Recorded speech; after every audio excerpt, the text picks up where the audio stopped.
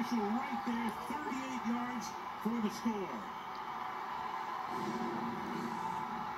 We had double moves going on the outside, and does he get his feet? There you go. Kick the pylon with the other, one foot down. Terry, tell us all about it. It's a touchdown. The pylon does not put him out of bounds. He gets both feet in bounds. This is a catch. Controls it to the ground. Touchdown. That is phenomenal. Great play. That is a phenomenal